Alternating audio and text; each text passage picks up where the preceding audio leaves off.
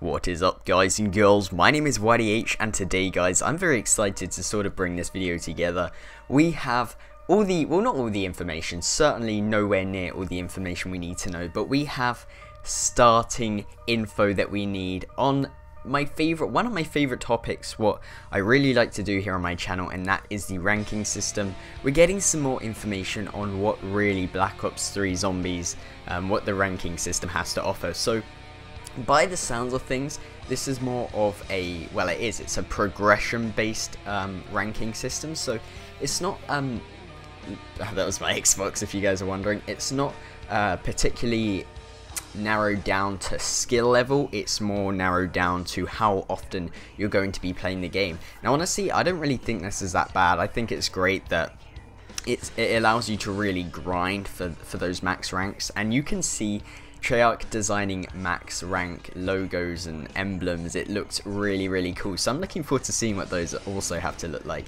Maybe we'll get some leaked images in the future and I'll definitely be sure to cover that. But as as far as this main topic goes, we are getting a ranking system. There might be some more hidden things in there because I know Treyarch like to, you know, throw in some hidden sort of uh you know, things that you can do to unlock certain ranks and stuff. In terms of like personalization, we do have uh, custom camos coming. I'm really interested as that is a game feature to see if you're able to implement that into, into zombies, maybe get a pack-a-punch camo.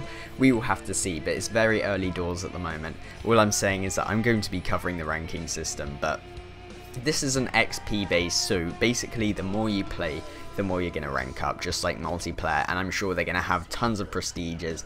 And I quote Mark Lamia here, this will engage zombie fans for years. That is also like blown my mind. If if we're to be getting like a load of DLCs or a, like really really incredible Easter eggs that are to be taking us so long because just think even in Origins people no even in like some maps like buried like not all the answers are found so that is just crazy. So i'm really looking forward to it. I hope you guys are too. So um, make sure you subscribe to my channel if you're new. I'm going to be covering all the black ops 3 zombies information that you guys need to know.